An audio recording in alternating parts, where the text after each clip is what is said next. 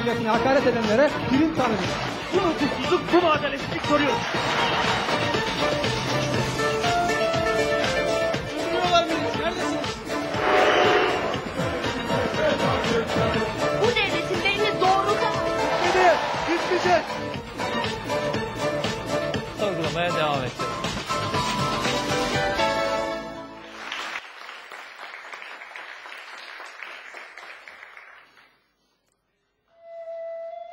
Bir varmış, bir yokmuş. Yüzyıllarca yıl önce, çok da uzak olmayan bir diyarda, Fenike kralı Agenor'un adı Örapa olan güzeller güzeli bir kızı varmış. Kız daha bebekken bile o kadar güzelmiş ki, Agenor onu kem gözlerden korumak amacıyla uzun bir uykuya dalması için büyü yaptırmış. Yüzyıllar boyunca insanlar Avrupa'nın nerede uyuduğunu bulabilmek için savaşlar yapmış, kanlar dökmüş ama ne fayda ki bulamamışlar. Ülkeler o kadar hevesliymiş ki savaşmaya, yakın uzak demeden dünyanın dört tarafından gelmişler silahlarıyla.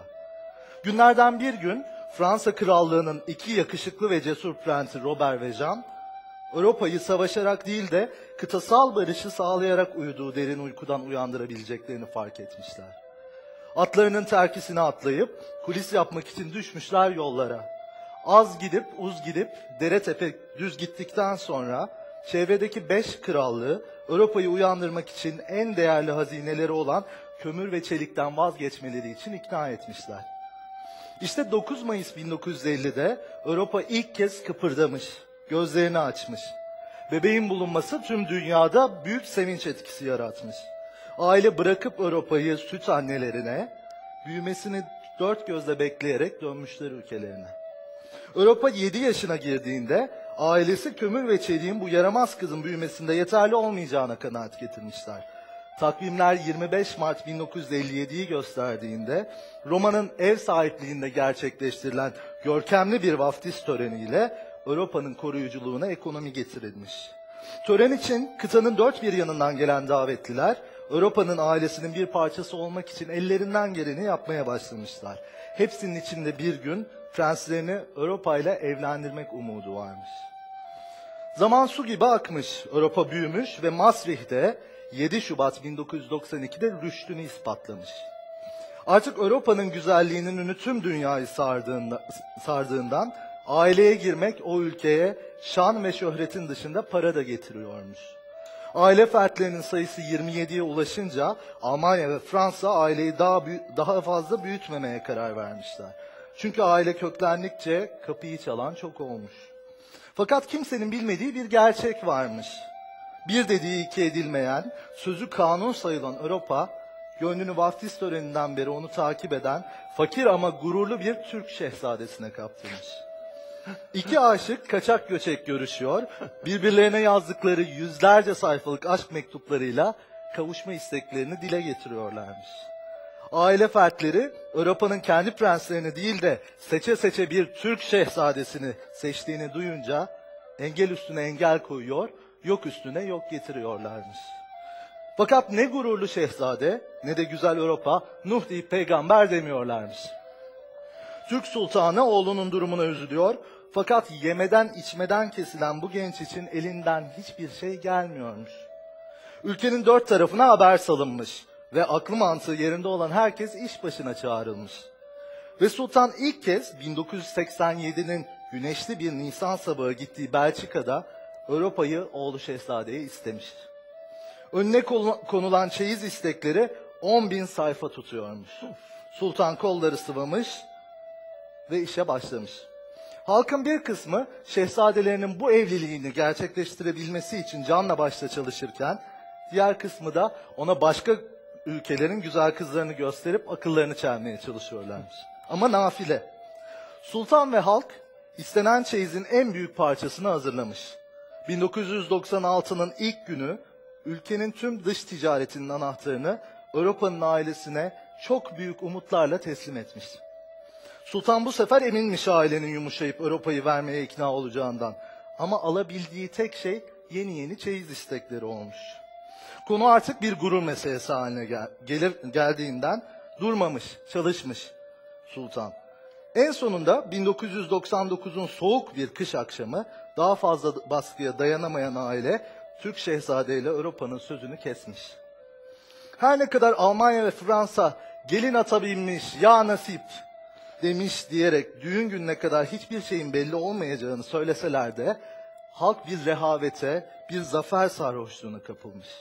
Avrupa'nın ailesi geri kalan çeyizleri almadıkları sürece Avrupa'yı rüyalarında bile göremeyeceklerini söyleseler de Türkler şehzadenin parmağındaki söz yüzüğüne bakıp ayrılığa ihtimal dahi vermiyorlarmış. Yıllar geçmiş.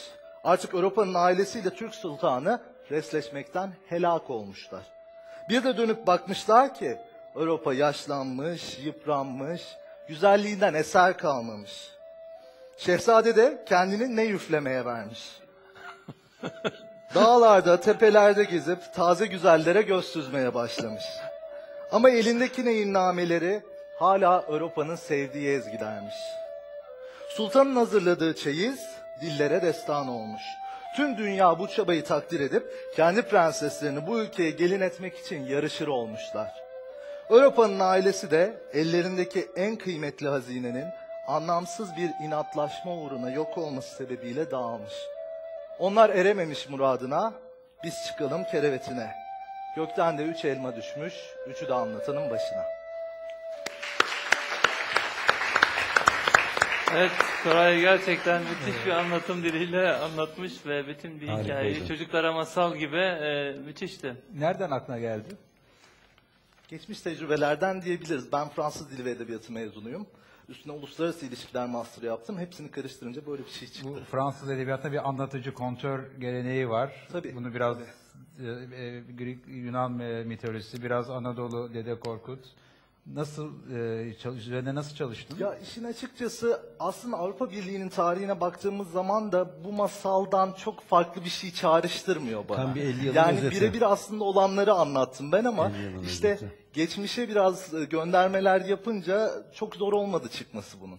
Çok güzel. Kafta e, demedin ama neredeyse yani çok hoş. Süre olsaydı oralara da girecektim ama Bana sanki olabildiğince. Gelecekmişsin gibi hissettim. Ya. Evet, evet. Güzel. Evet, kısımlarda vardı. sözle ancak bu kadar anlatılabilirdi. Yiğit Bulut, Söyleyecek bir şey yok gerçekten güzel. Hepsi detaylandırılmış. Etkileyici. Ben bir ara korktum kötü bitecek sonu diye ama Şehzade Avrupa'yı daha kaldıracak falan.